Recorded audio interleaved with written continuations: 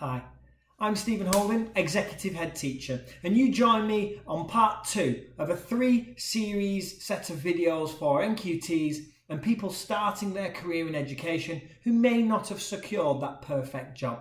In the first video, I talked about will any school do? And the simple answer is no. You need to choose a school that's right for you.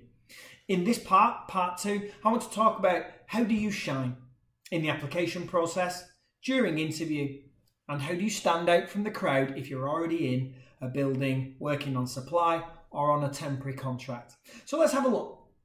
And we, we, we start with the letter. And I just want to talk through some quick wins in your application letter. Because let's be honest, I've read thousands now application letters, and they're all now of a very good standard. People know and are trained what to put in these letters. Let's be honest, you probably got help from someone in education. So the letters are already of a high standard. But what are the quick wins that can really make you stand out? And I know some of these are silly, but get the school name right and get the head teacher's name right.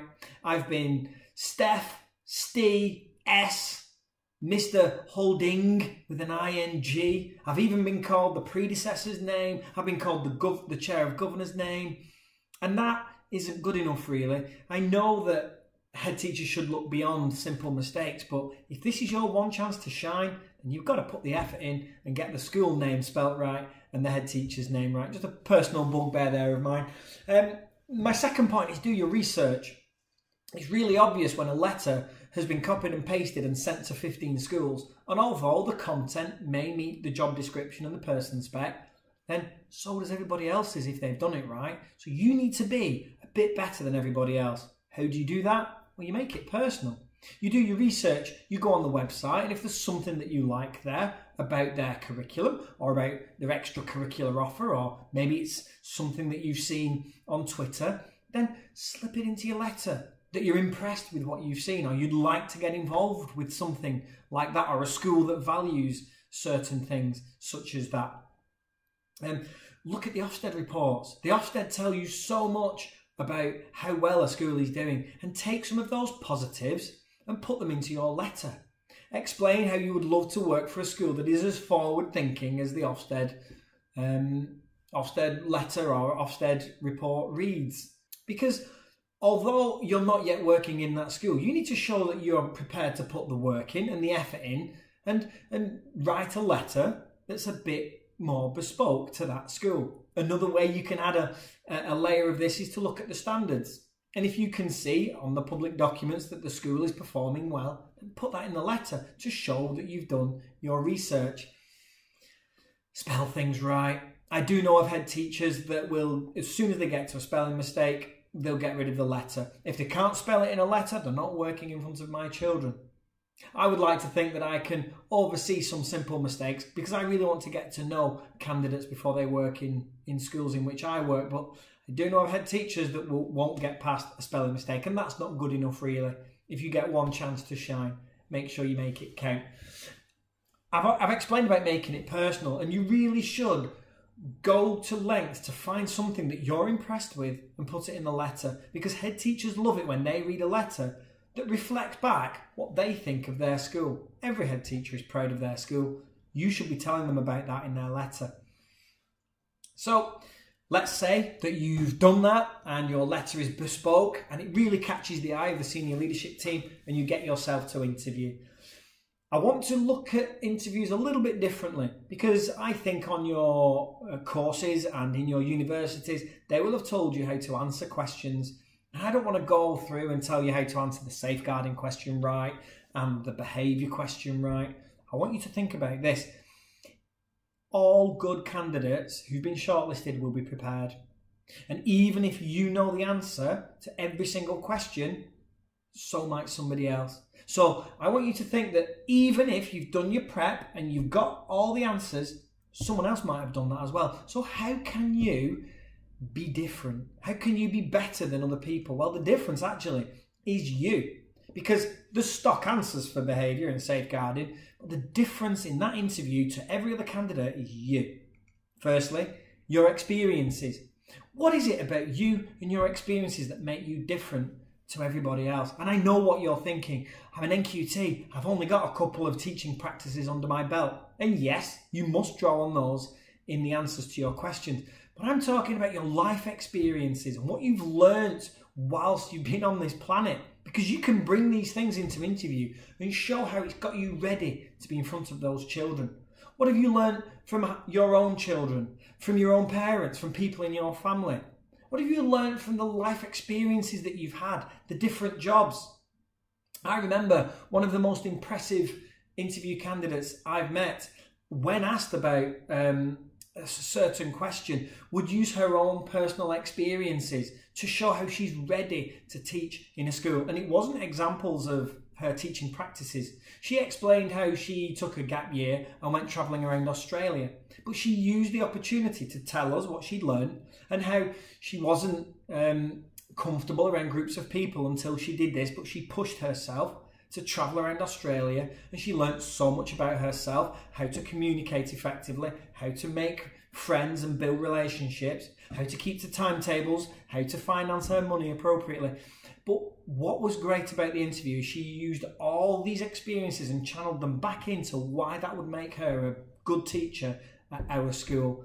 And I thought that was such a clever way, and it made her different to everybody else who was talking about how they did a good lesson once. She talked about her life, and it was really interesting. I suggest you do the same. The second thing that makes you different to everybody else is your personality. I mean, you've got to come in there and be the most happy and bubbly person that they've seen because you're going to work with children. And our children, they deserve nothing less. If you don't have a personality, well, you're in the wrong job. You shouldn't even be doing it then. So at least come in and be positive and happy and enthusiastic to be there. And actually, that interview starts as soon as you walk in. Well, it starts before you walk in the building. Be, be aware of how you are on communication on emails, getting ready for the interview, or a particular lesson observation you might have to do. Think about how you word your emails to the head teacher and the office staff. And then when you get to the school, you're on interview from the second you get out of your car because somebody will be watching you. Particularly the office staff. When you walk in, you must be relentlessly positive and happy with them because they will probably give their opinion to the head teacher once you've gone. So just remember your interview starts way before your allotted time on that fateful day. And remember, if you can be relentlessly positive, then you're probably going to really catch the eye amongst the other candidates that have already um, done their research too. You need to be one step ahead. Okay, this next bit is well, what if you're already in a building at the minute? You're on supply, but a job might be going at that school and you really want to nail it. You might be on a temporary contract and you want to turn that into a long term or full time contract because that's the school for you. How can you shine? Well, here's a few hints and tips from me. Uh, if you can't read them, I shall read them out for you. And the first one, it's no mystery really, you've got to work hard. I mean, this is a difficult career. It's not an easy career that you're coming into, but you know what? It's fantastic. But you've got to work hard because people will see that you're working hard. And I don't mean do above and beyond what is expected if you've chosen the right school, like in video one, they'll be looking after your well-being and they will have a decent work-life balance um, in their school. But I mean, you've got to work hard when you're there because our children deserve nothing less than the best teaching uh, and the best lessons every day. So make sure you're working hard. You get 14 weeks holiday a year, so you should be able to do that. My next one is the, to ask questions relentlessly because particularly in your early stages of your career, if you're on supply or you're working on a temporary contract, you should be asking questions all the time. Show your enthusiasm for that school and the way that they do things.